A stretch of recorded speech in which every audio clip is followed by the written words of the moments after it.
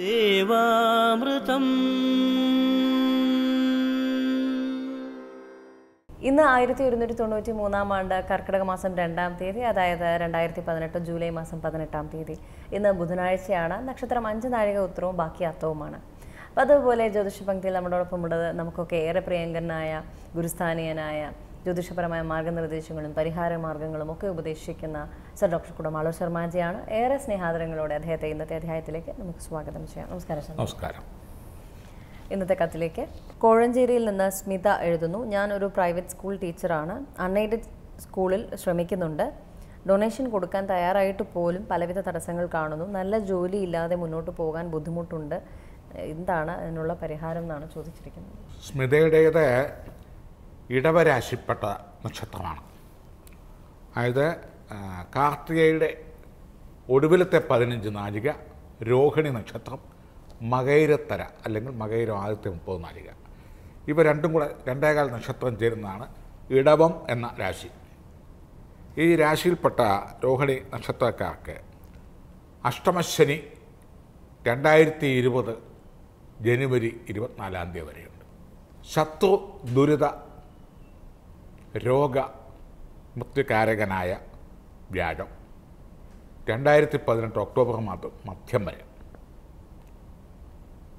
വ്യാഴഗ്രഹം ആറാം ഭാവത്തിലും ശനിഗ്രഹം എട്ടാം ഭാവത്തിലും ഈ രാശിക്കാർക്ക് നിൽക്കുന്നതിനാൽ വെച്ചു നീട്ടും നന്മ പോലും തട്ടിമാറ്റപ്പെടും. തേടിയെത്തും നന്മകൾ വൈകിയെത്തും.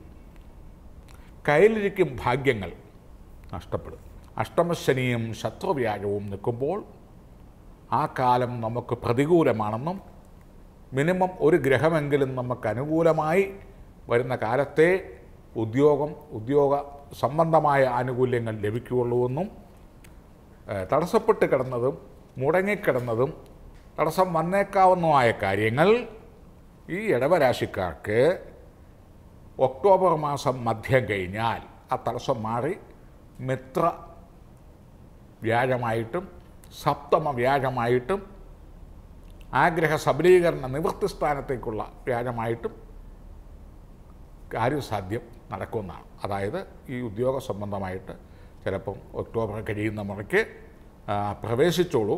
ശമ്പളമൊക്കെ തൽക്കാലം ഒന്ന് രണ്ട് കൊല്ലം കഴിഞ്ഞ് ഉണ്ടാവാൻ സാധ്യതയുള്ളൂ. ആദ്യമായി സേവനം നടക്കട്ടെ. മറ്റെന്തെങ്കിലും പരാതികളൊക്കെ ഉണ്ടെങ്കിലും സേവനം കൈപ്പറ്റുന്നില്ല വേതനം കൈപ്പറ്റുന്നില്ല എന്നുള്ള രീതിയിൽ അങ്ങ് പോട്ടെ. പ്രാക്ടീസ് ആവട്ടെ രണ്ട് കൊല്ലം കഴിയുമ്പോൾ ശമ്പള ഫിക്സേഷനും കാര്യങ്ങളും കുടിശ്ശിക സഹിതം ഉണ്ടാകാം. അപ്പോൾ അതൊരു വലിയ ആശ്വാസമായി. അപ്പം ജോലിയിലേക്ക് പ്രവേശിക്കാം പക്ഷേ ശമ്പളമില്ല.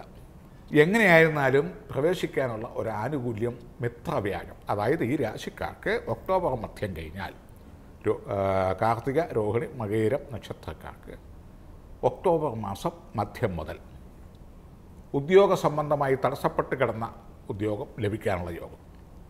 ഉദ്യോഗത്തിൽ ഇരിക്കുന്നവർക്ക് ഫിക്സേഷന് ഒക്കെ ശ്രമിക്കുന്നവർക്ക് അതിന് പറ്റിയ കാലം.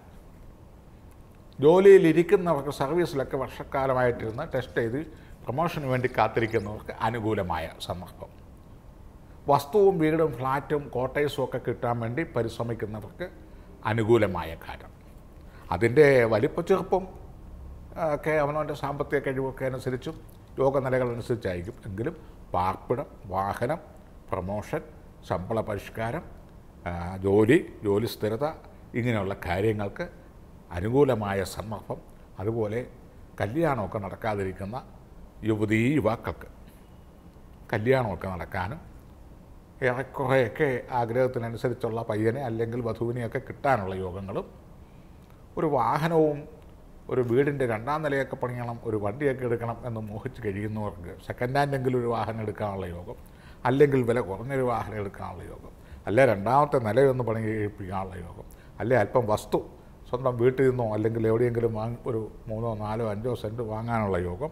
ഏതായാലും വസ്തു ഗ്രഹം വാഹനം ഉദ്യോഗം വിവാഹം വിദേശത്തേക്ക് പോകാൻ ശ്രമിക്കുന്നവർക്ക് തടസ്സപ്പെട്ട് കിടന്നവർക്കൊക്കെ അനുകൂലമായ സന്ദർഭം. മഴയ്ക്ക് മുമ്പ് മിന്നൽ അല്ലെങ്കിൽ തണുത്ത കാറ്റ് അല്ലെങ്കിൽ ചാറ്റൽ മഴ എന്ന് പറയുന്ന പോലെ പ്രകൃതി വരും നന്മകൾക്ക് മുമ്പിൽ ചില ലക്ഷണങ്ങൾ കാട്ടിത്തരും. ആ ലക്ഷണമാണ് ഈ കത്തിപ്പ് വരാനും വായിക്കാനും കേൾക്കാനും ഒരു പക്ഷേ ഇത് സംഭവിക്കാൻ പോകുന്നു. ഒരു പക്ഷേ അല്ല സംഭവിക്കും. ഇതിന് ശരിക്ക് ദോഷപരിഹാരങ്ങൾ ചെയ്യുക തടസ്സങ്ങൾ മാറാനും കാഠിന്യങ്ങൾ കുറയാനും ഇവയുടെ സൽഫലങ്ങൾ അനുഭവിക്കുവാനും ഏറ്റവും ലളിതമായ നീലാഞ്ജന സ്തോത്രങ്ങൾ ശനിയാഴ്ച തോറും കൊണ്ട് പുഷ്പാർച്ചനകൾ ചെയ്യുക. നീലാഞ്ജന മന്ത്രങ്ങൾ. നീലാഞ്ജന സമാനാഭം രവിപുത്രം യമാഗ്രജം ഛായാ മാർത്താണ്ഡ സംഭൂതം തം നമാമി ശനീശ്വരം. നീരാഞ്ജനം എന്ന് പറയുന്ന ഒന്ന് വേറെ നീലാഞ്ജനം എന്ന് പറയുന്നത് വേറെ നീരാജനം എന്ന് പറയുന്ന ഒന്ന് വേറെ. അങ്ങനെ മൂന്ന് തരത്തിലുള്ള വഴിപാടുകളുണ്ട്. തെറ്റിദ്ധരിക്കപ്പെട്ടേക്കാവുന്ന വാക്കുകളാണ്. എള്ളുതിരി കത്തിച്ച് ചെയ്യുന്ന നീലാഞ്ജന വഴിപാടുകളും നീലാഞ്ജനം ചെയ്യുന്ന വഴിപാടുകളും വേറെ. അത് സന്ദർഭോചിതപരമായി ഈ വാക്കുകളുടെ അർത്ഥവും അതിന്റെ വ്യാപ്തിയും ഫലങ്ങളും പിന്നീട് പിന്നീട് കത്തുകൾ വരുന്നതിനനുസരിച്ച് പറയുന്നതാണ്.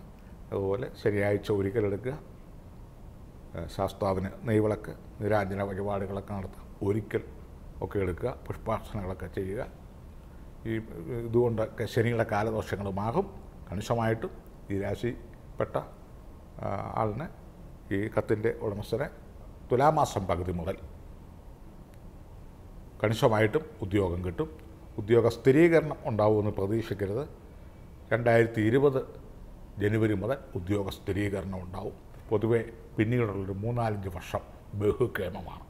ജ്യോതിഷ പങ്ക്തിയുടെ ഇന്നത്തെ അധ്യായം ഇവിടെ പൂർണമാവുകയാണ്. ജ്യോതിഷപരമായ മാർഗനിർദ്ദേശങ്ങൾ സർ ഡോക്ടർ കുടമാളൂർ ശർമാജിയിൽ നിന്ന് അറിയുവാൻ ആഗ്രഹിക്കുന്നവർ താഴെ കാണുന്ന നമ്പറിൽ അദ്ദേഹത്തെ കോൺടാക്ട് ചെയ്യുക പ്രശ്നപരിഹാരങ്ങൾ ചോദിച്ചു മനസ്സിലാക്കുക അനുവർത്തിച്ചു വരിക ഗുണഫലങ്ങൾ ഉണ്ടാകട്ടെ എന്ന് ആശംസിക്കുന്നു.